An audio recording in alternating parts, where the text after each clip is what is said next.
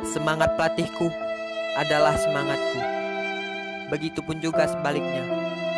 Semangatku adalah semangat pelatihku. Pelatihku yang selalu mensupport dan menyemangatiku. Pelatihku yang selalu ada, yang selalu bisa membantuku. Di saat aku sedang sedih, di sanalah ada sosok pelatih yang bisa mengembalikan senyum dan tawaku. Pelatihku pernah berkata, "Kamu bisa menjadi seseorang yang hebat. Yakinlah itu, kamu pasti bisa menjadi seseorang yang sangat hebat. Yakinlah, yakinlah, yakin, dan yakin."